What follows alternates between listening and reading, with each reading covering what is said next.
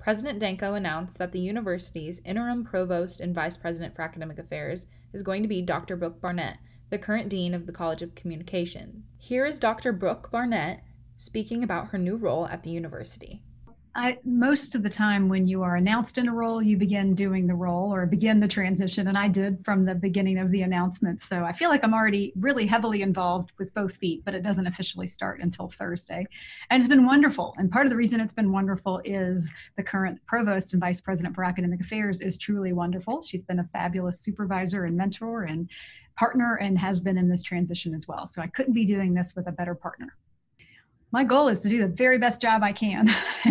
so, which is really the bottom line. And that's my goal professionally always is to do my work with integrity and to um, to do a really good job. So that's the goal here.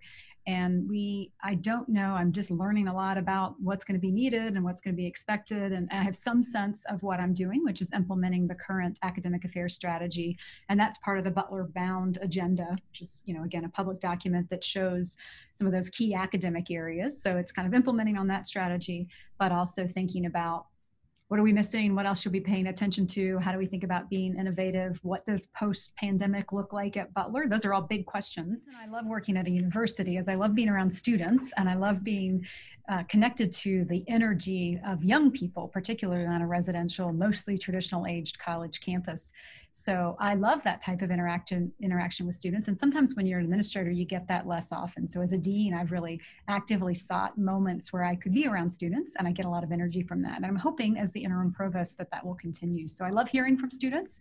I love hearing your perspectives. I love um, creating the conditions for your learning. So my goal and hope as an interim provost is that I can, can continue doing that in the way I hope I've been able to do it in a relatively short period of time as the dean of the College of Communication.